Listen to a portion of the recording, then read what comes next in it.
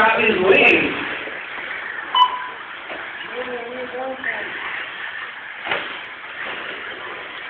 I don't know how Travis is going to drive it without that wing on it. It's actually running better now, Chris.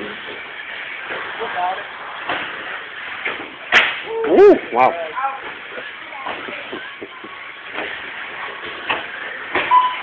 Thirty-eight seconds left to go.